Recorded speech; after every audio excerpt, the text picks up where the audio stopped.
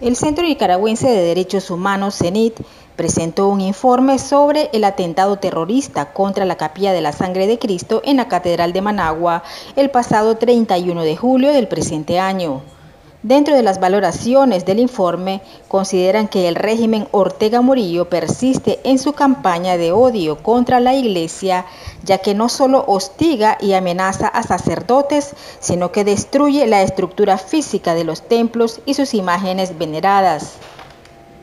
En su informe, el CENIT lamenta que a pesar de la disposición del experto colaborador de este organismo para realizar valoraciones, la misma no fue efectiva por distintas limitaciones. Sin embargo, se tiene suficientes elementos para descartar las conclusiones del informe de la institución policial por poseer vicios de nulidad al no respetar los procedimientos técnicos, la neutralidad y el profesionalismo.